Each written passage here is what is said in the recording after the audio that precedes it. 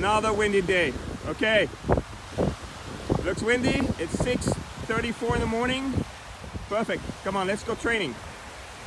Let's go. That's what I call an epic day. Let's go, let's go. Hey, let's go. Let's go. Come on.